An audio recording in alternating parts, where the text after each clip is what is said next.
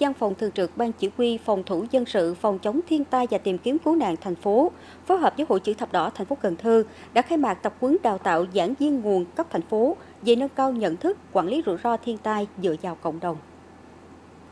Trong 5 ngày, học viên được trang bị kiến thức quản lý và đánh giá rủi ro thiên tai, biến đổi khí hậu dựa vào cộng đồng, quy trình đánh giá rủi ro thiên tai dựa vào cộng đồng với việc thực hành chính công cụ để tổng hợp phân tích các thông tin liên quan, làm cơ sở cho việc lập kế hoạch phòng chống thiên tai, đồng thời lồng ghép phòng chống thiên tai và kế hoạch phát triển kinh tế xã hội tại địa phương. Ngoài ra, học viên còn được hướng dẫn lập kế hoạch và phương án phòng chống thiên tai với tình huống phải sơ tán người dân đến các điểm sơ tán tập trung, xây dựng phương án cụ thể tiêu chuẩn tối thiểu trong tình huống khẩn cấp, các nhu cầu cơ bản trong tình huống khẩn cấp do thiên tai, thảm họa, lương thực thực phẩm, nước sạch, vệ sinh, an ninh an toàn, y tế sức khỏe, dần dần.